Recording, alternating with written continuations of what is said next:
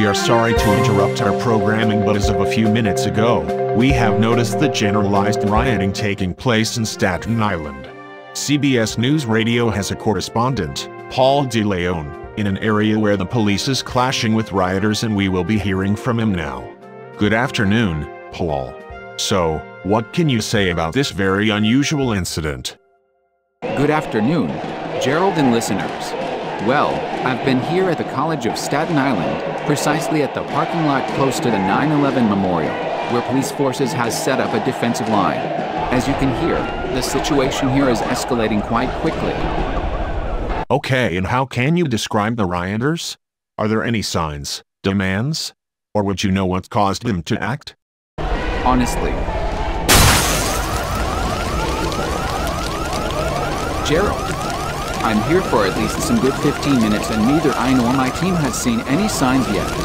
Due to this, and the police not letting media past some established police lines, it's difficult to understand what they are angry for. But whatever it is, it really got on their nerves. Some protesters just charge against the police lines with little regard for their safety. Some vehicles are vandalized and abandoned on the middle of the streets of the campus. There are also quite a few rioters reported inside some of the buildings. Police say they are already in the process of entering the building and, oh, SWAT teams just arrived. It seems like police is willing to use lethal force. Lethal force? Paul, would you say that's reasonable? If it's reasonable or not, it's not up to me to judge or think. I've seen a lot of ambulances coming in and out, and a lot of injured among officers and rioters. Actually, yeah, I think it's reasonable. I just saw man tackle an officer to the ground and...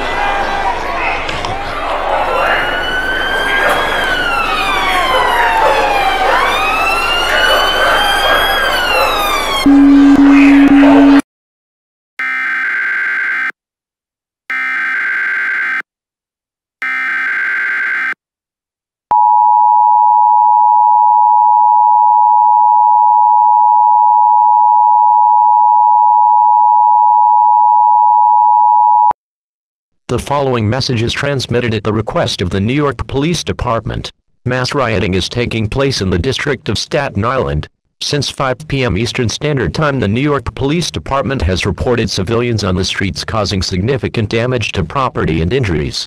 The New York Police Department is attempting to handle the situation, however, local authorities are requesting that Staten Islanders remain home for the rest of the day and avoid traveling in the streets.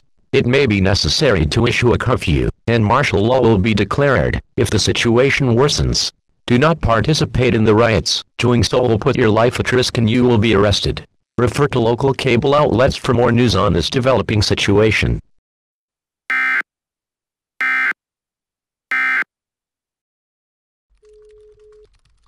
That was the emergency alert system being activated. Well, it seems like we lost connection with our correspondent, Paul DeLeon. We are attempting to restore communication but for now, let's go for a quick station identification. Most of the NYPD has been mobilized to deal with these acts of violence, which may have spread to some streets in Long Island and Brooklyn. Hospitals in the Staten Island area reports injuries in the hundreds and at least five deaths, but those numbers may be higher. The cause and motives behind this are not known. Rioters are attacking law enforcement and other civilians in the most ridiculous ways possible, including demonstrators launching themselves against riot police. NYPD is not letting any press into Staten Island due to the immense threat it poses, and is recommending that anyone outside of the island stay away from the area at all costs. This has been a WCBS special report. We will be back momentarily as the emergency alert system will be activated once again. Listen carefully.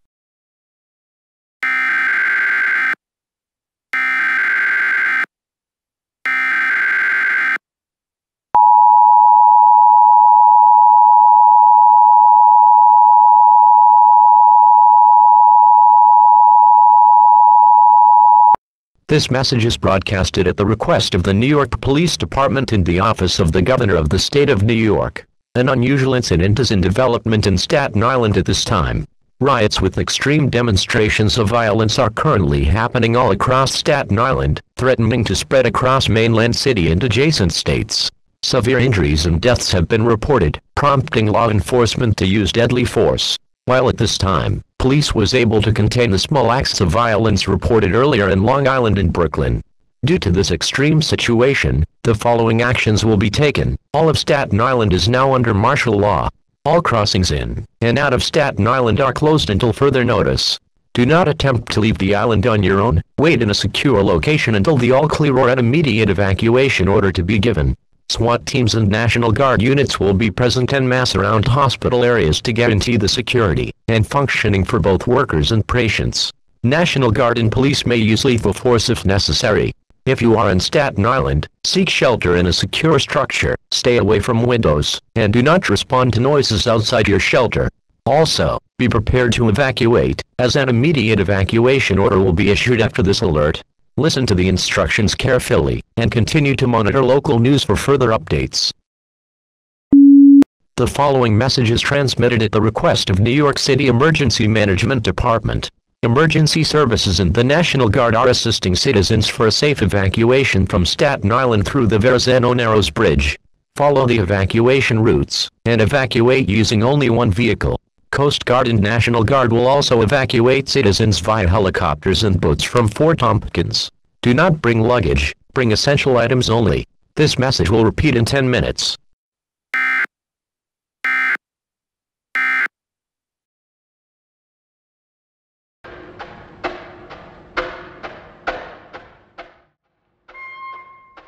This is WCBS operating with the 880 band. We follow with our news programming with an especial attention towards the acts of violence across Staten Island. The closure of most crossings in and out of Staten Island causes delays and high traffic along the area. In other news, a crazy hobo hustled against a group of moms with their kids in Central Park. Apparently, he didn't realize he was shot by the police until the officers